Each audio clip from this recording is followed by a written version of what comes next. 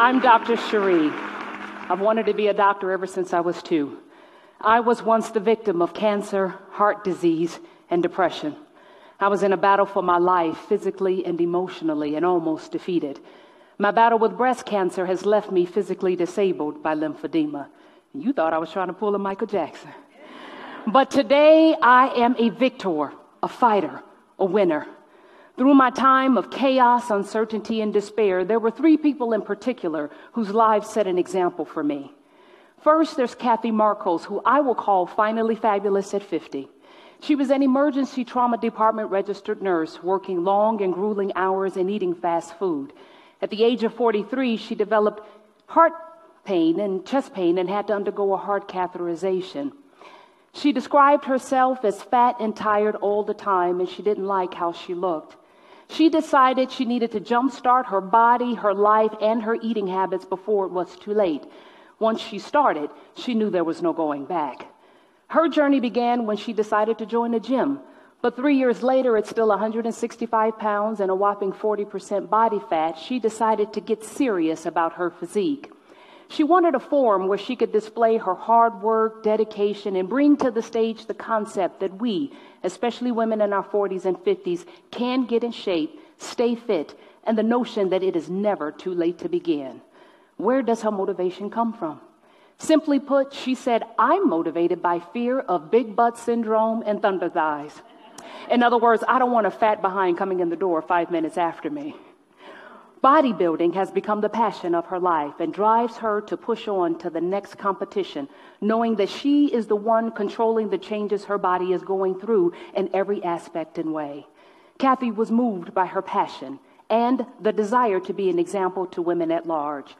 Looking at Kathy's life, there were so many parallels between us.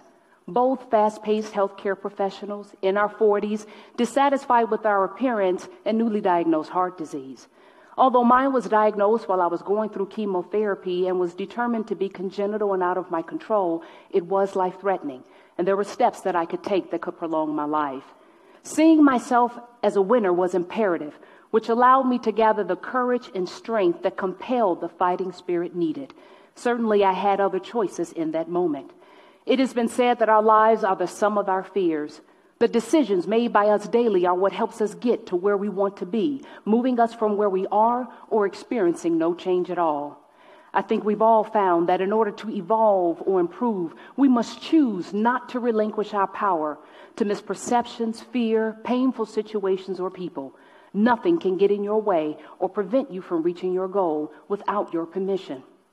Next, there's William Wilson, who I will call stupor to stupendous. He was born in the middle of a snowstorm and behind the bar of his grandparents' hotel. This inauspicious but curiously suggestive birth would produce the man who decades later both Time and Life magazines would honor as one of the most influential figures of the 20th century. His parents divorced, and the, the divorce led to feelings of abandonment and started a series of depressions he would face throughout his life. He quickly took to alcohol in an attempt to cope with his life issues. Bill failed to graduate law school because he was too drunk to pick up his diploma. And although he had success as a stock speculator, his constant drinking made business impossible and ruined his reputation. At the age of 38, he was committed to the Charles B. Towns Hospital for Drug and Alcohol Addictions, where he was eventually told that he would either die from his alcoholism or have to be permanently locked up. He descended into chronic and desperate alcoholism. Considered by himself and others to be hopeless, he was visited by his old friend Ebby, who Bill knew to be a severe alcoholic, but who was miraculously sober. Although Bill's drinking continued, Ebby's visit opened an avenue of the possibility of sobriety. One month later, Bill's life was utterly changed by a transforming spiritual experience that resulted in his never needing to take another drink of alcohol for the rest of his life. Bill joined the Oxford Group and, along with Dr. Robert Smith, an alcoholic Oxford Group member, began working with other alcoholics. They had success helping alcoholics in what they called a nameless squad of drunks, which would later be named Alcoholics Anonymous. As many of you know, Alcoholics Anonymous originally put forth a 12 step program as a set of guiding principles outlining a course of recovery from addiction and compulsion and other behavioral problems. Step four particularly resonates with me, and it is this made a fearful and searching moral inventory of ourselves. Although alcohol was never my coping mechanism, I have my own vices for trying to deal with my depression, as likely many of you have. Working incessantly, trying to be all things to all people, and pushing myself to limits that were never meant for me to reach. Like Bill, I think we've all learned that in order to move forward, there has to be a paradigm shift in looking at past, present, and future options. Struggles have a way of bringing us to the point where we are forced to consider what we still have rather than what we've lost in order to bring a new vision or path into view. We are forced to recreate, dare I say, driven to recreate purpose for our lives. This recreation allows us to overcome our struggles by breathing new life into dying hope. Bill's disparaging life was abruptly and unexpectedly changed and led to the creation of an organization where millions have received life saving help. Here's our chance to ask what lessons can be learned and how what we are experiencing will enable us to be a blessing to others. Often it is through you that others find the strength to face their challenges. We were born and we were made to overcome our challenges by breathing new life into dying hope. Lastly, there is Yvonne Springs, who I will call Miss Poverty to Miss Policy. She was born in Sharon, Mississippi great grandchild of slaves, married at 15, first child at 16. She was a high school dropout because family came first.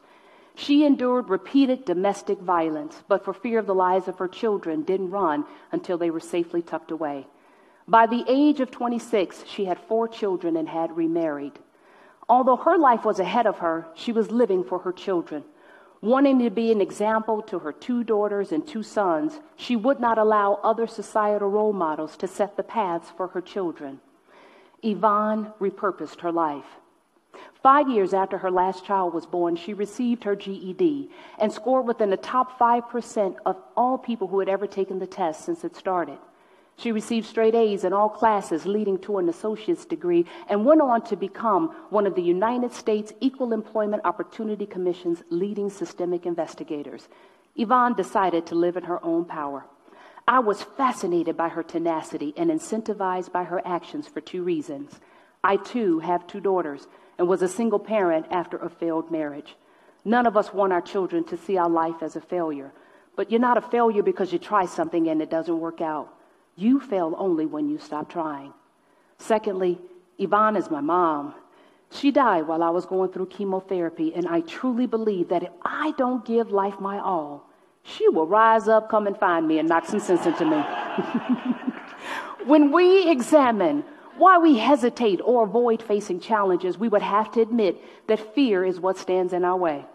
It seems that life always has its way of bringing us to a place where we need to make a fresh start. Some of you might be there right now. Maybe you want to break a bad habit or revive a lost dream. Maybe you want to get a handle on your finances, start your own business, write a book, whatever it is. Maybe it's your time to get started right now. This could be your new beginning.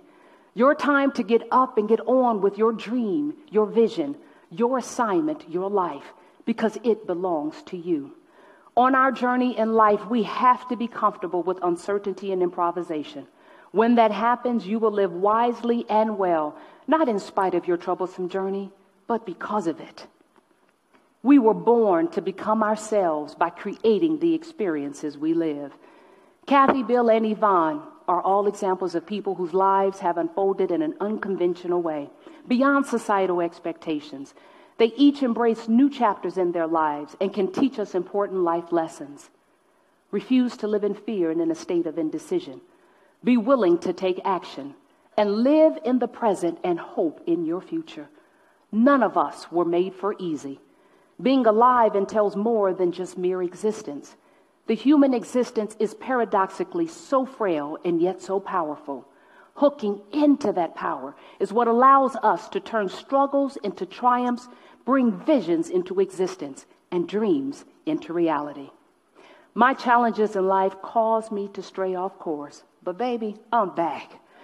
But for me, when I say that I'm back, I'm not referring to any state of being where I once was.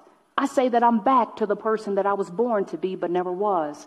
I was born to be exceptional but lived in mediocrity. I'm back to the person that I was meant to be, which is a beacon of hope, but never was because I was hiding in the shadow of someone else's light. I'm back to fulfill the purpose that was always intended for me. And that, my friends, simply is to live. I learned that courage is not the absence of fear, but the triumph over it.